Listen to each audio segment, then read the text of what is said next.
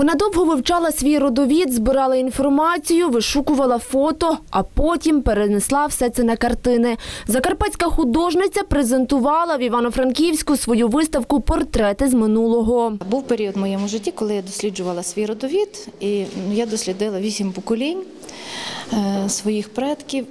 Надзвич- Надзвичайно цікава була робота, і тоді виникла ідея намалювати тих е, моїх родичів, яких я не знала. На картинах зібрана численна родина Одарки Долгош. Зізнається, працювала над роботами довго, але результатом задоволена. Тут можна зустріти і мою прабабусю, і прадідуся. Тобто тут я знаю дуже багато історій про них. Е, Залишилися світлини, які я власне використала як е, ну, такий формат колажу. У своїх роботах художниця поєднує старі сімейні фото з розп'яттями, хатами та деревами Закарпаття. Це особливо імпонує кураторові виставки в Івано-Франківську Михайлові Тимчуку. Вона створює роботи вже е, на відчуття своє особисте.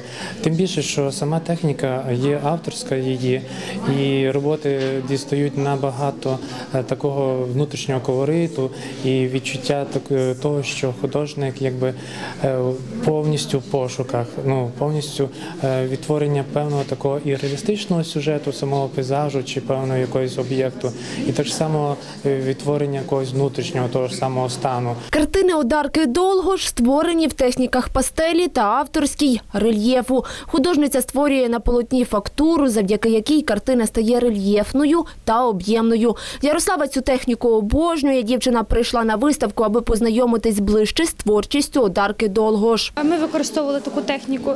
Техніку, наприклад, ми брали там папір, змочували і клеїли на дошку, а потім по ній малювали. Це дуже гарно і ну, мені, мені, наприклад, подобається, мені це до душі. Виставка триватиме впродовж двох тижнів. Далі картини попрямують в інші міста України. Ольга Гриців, Сергій Русиняк. Новини телеканал Раї.